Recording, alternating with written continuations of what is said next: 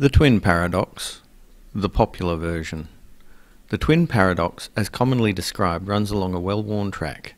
There are twins. Let's call one of them Alice. Alice stays at home on the Earth. The other one is Bob.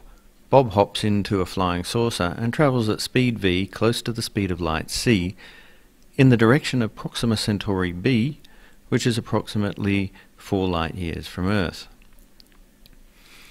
Because of time dilation, which occurs at high speed, Bob's clocks, Bob's breathing, and Bob's everything goes slow compared to Alice back on Earth.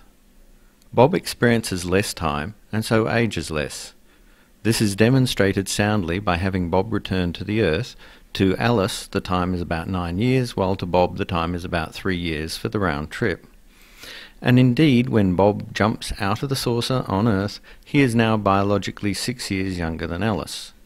This point can be made even stronger by making the trip 40 years. Alice will be old or dead, and Bob still in the prime of his life.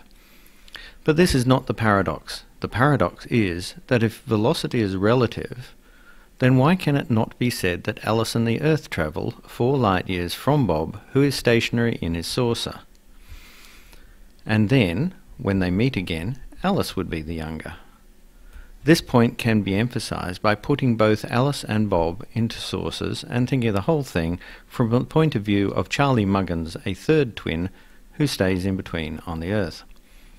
The two twins scoot off in opposite directions and return to Charlie. If there is no importance to left and right, then why should there be any difference between the effect on Alice and Bob? Even if there were both a different age to Charlie, they should be the same age as each other. And to emphasize this even more, consider the superhero version in which Alice, Charlie, and Bob are floating in a vast, dark, empty void and moving around with respect to each other. Each will claim that the other two should be younger when they meet again. Keep in mind that if all motion was relative, then time dilation, as popularly supposed, would indeed be a paradox. Somewhere in here, something has to break in the principle of relative motion.